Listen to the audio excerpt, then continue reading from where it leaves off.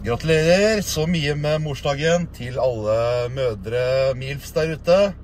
Og så er det fastelavns òg. Så det er en fin søndag. Og så er det leg day her, da. Så kjøpte litt blomster til mutter'n. Så blomster eh, og bol Nei, blomster og boller. Fastelavnsboller. Så det er viktig å ta vare på foreldra mens man ennå har de. Så det har alltid vært tradisjon det å kjøpe blomster på morsdagen. Så skal jeg gi dem til henne. Det tror jeg hun setter pris på.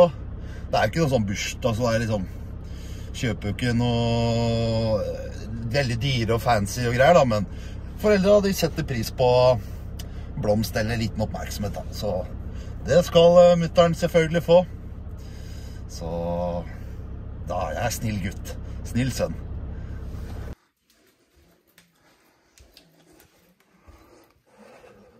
Grattis med morsdagen. Nei, men så koselig, da. Bare hyggelig. Tusen takk, Espen. Bare hyggelig. Tusen takk.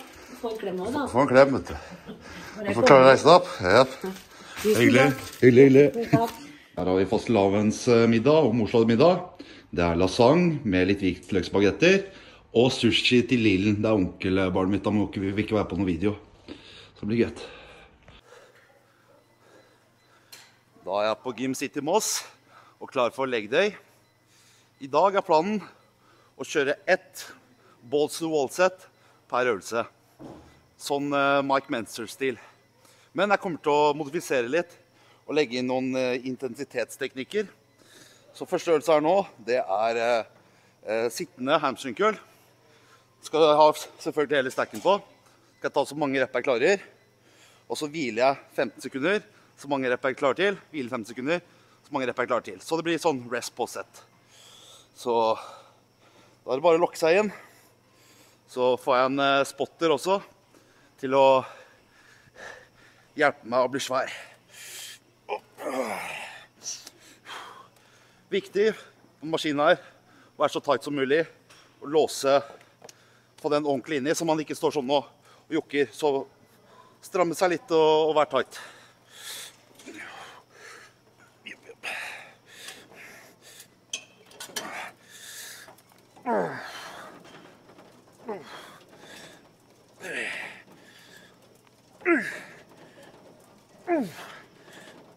X.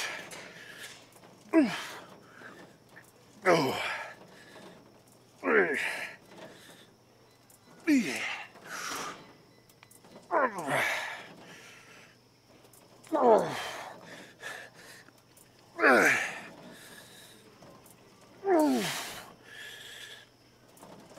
Varme litt. Fire til. Kom igjen. To til. Ja. Tre. Bra. Hviler fem sekunder. 14. Så kjører jeg på igjen. 10. Hæ? Må ta hele greia. Så bare å være med helt inn. Ja, det, er- ja du, kan- du kan prøve. Du kan prøve.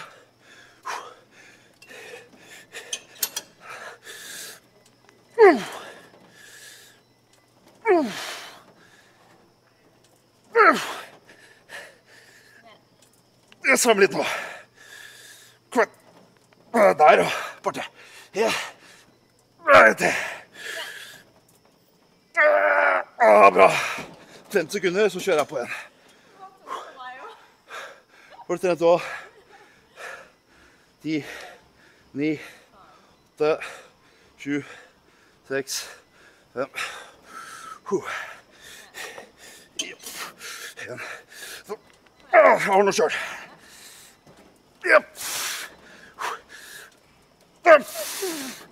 Vær med litt nå.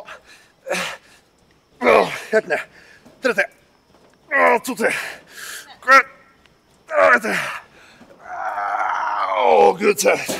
Det var bra. Oh, veldig bra.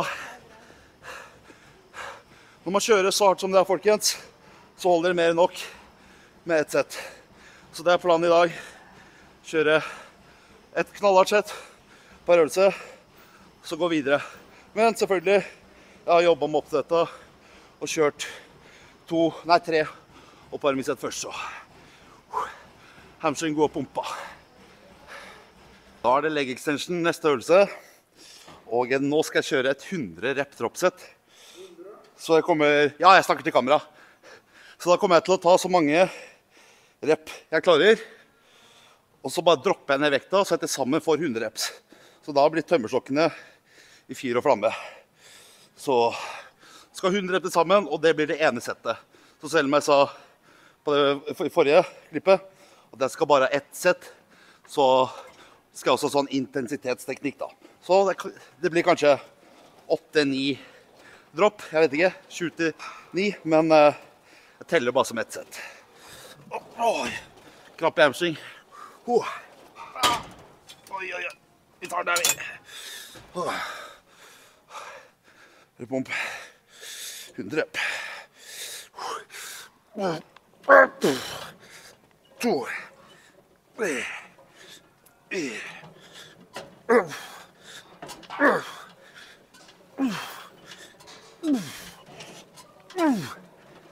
Ti. Elleve.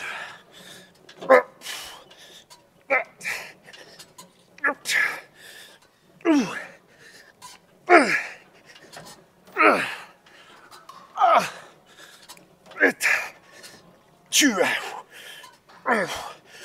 To. Tre. Fire. Fem. Åh. Da er vi på 25, folkens. Åh.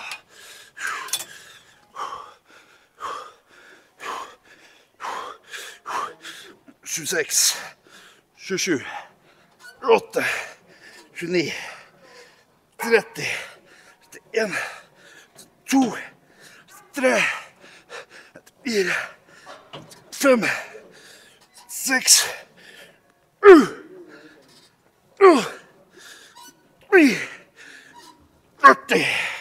og 40. Oi, oi, oi. Å, fy faen.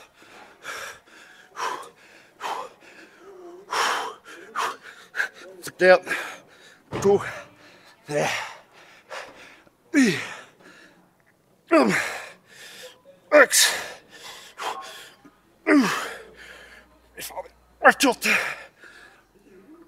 49 50 og halvveis. Oi. Ah. Har vi 50, har vi halvveis. Oh. En, to, tre, fire,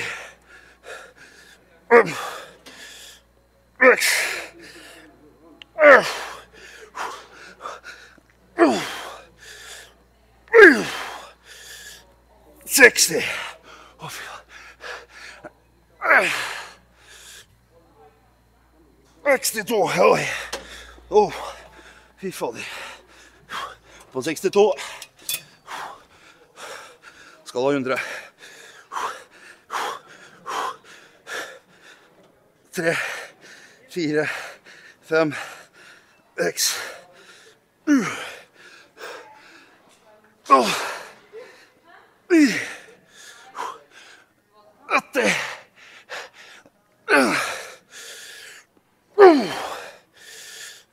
Tre. Fire. 35. 25 til. Da har jeg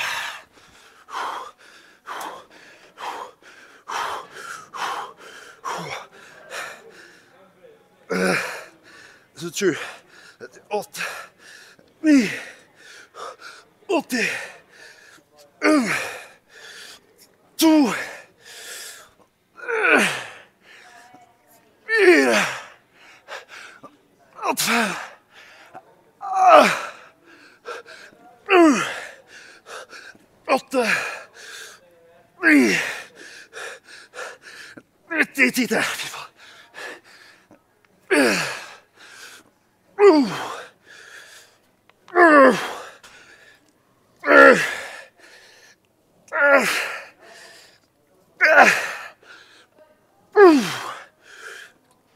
sittet Oi, oi, oi. Oi, oi, oi. Da ble det 100 rep. 100 etter oppsett. Kan dere prøve, folkens, hvis dere har lyst til å ødelegge tømmerstokka deres. Så nå er i hvert fall god og varm og god pump før jeg går videre til neste øvelse.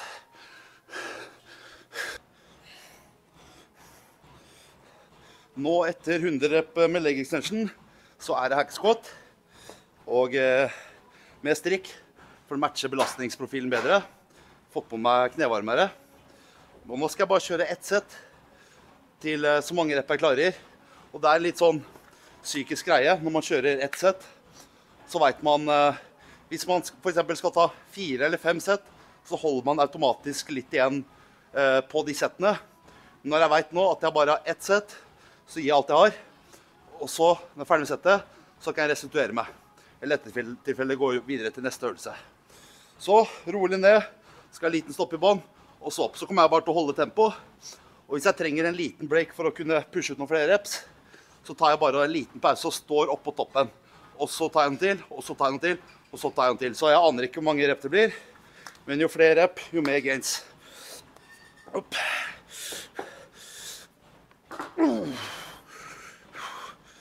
Finner benposisjon. Rolig ned. Opp igjen.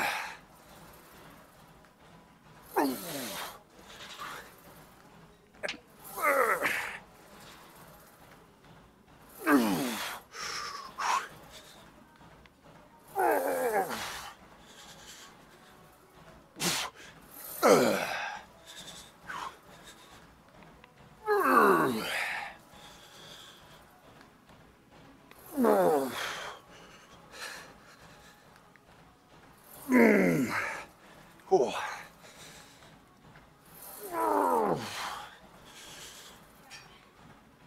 Åh. Oi, oi, oi.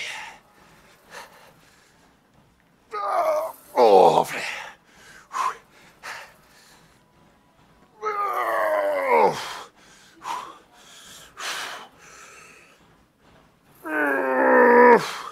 Oi, oi, oi.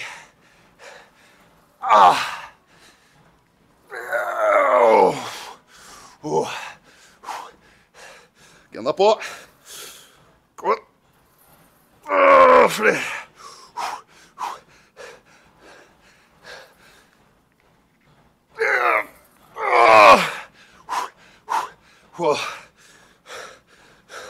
Er Dette som separerer tapere og vinnere.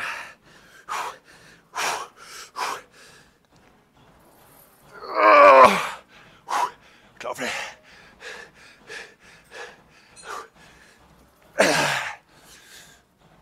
Åh, vet du. Jepp.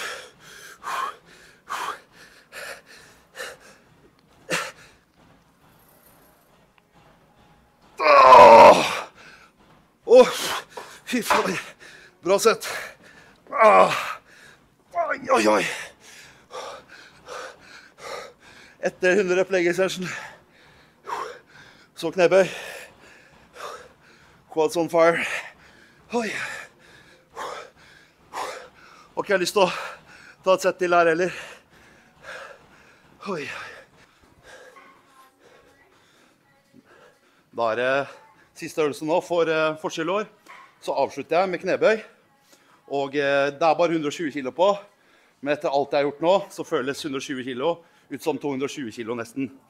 Og jeg bruker, dere kommer til å se nå hvordan jeg bruker de reimene der. For da står jeg mer oppreist og blir litt mer som en frontbøy. Og mindre den low bar og hofter og ræv. Så jeg prøver å stå så oppreist som mulig. Og så er det fordi jeg er for stiv, så jeg sliter også med å få skuldrene bak. Så det blir ett sett nå. Så tar jeg bare så mange rep jeg klarer. Jo flere, jo bedre. Jo flere rep, jo mer gains. Så jeg å stå så oppreist som mulig, så dypt jeg kan. Opp. Så bare repper jeg ut. Jepp, jepp. Jepp, jepp. Opp. Lett. Å,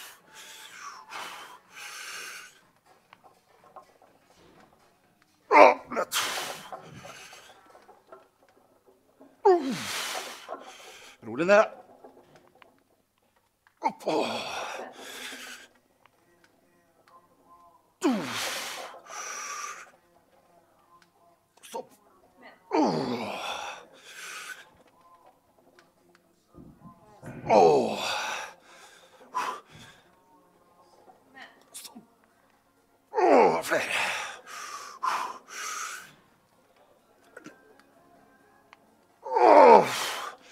På. Oh, og flere. Easy. Oh, Par til. Med stopp.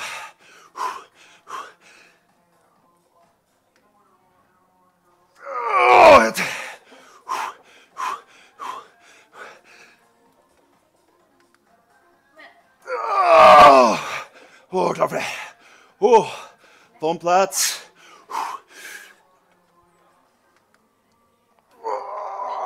et til. Oi, oi. Åh,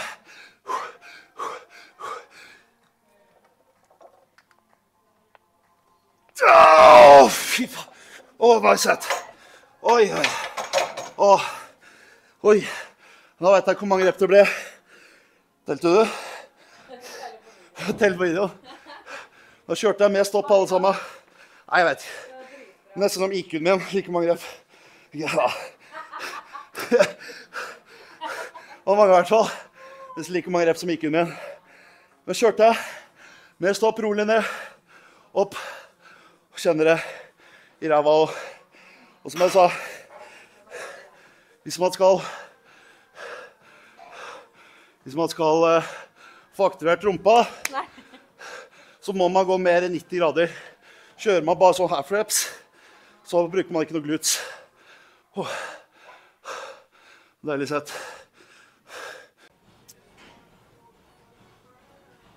OK.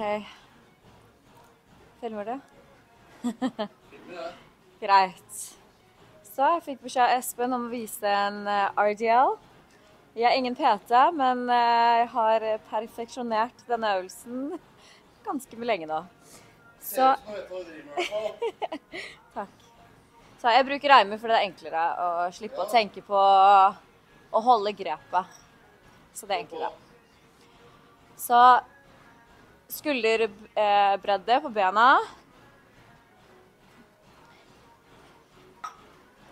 Og så kan man tenke på å skyve rumpa ut og ikke bøye knærne så mye. Så tenk at du skal treffe en vegg med rumpa, typ. Så Sånn som det.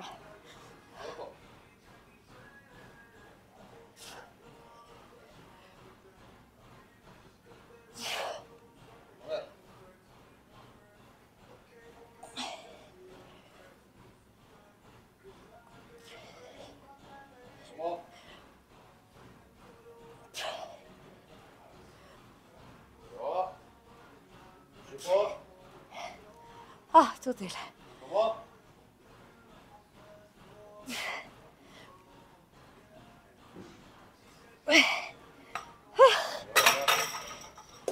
Hei.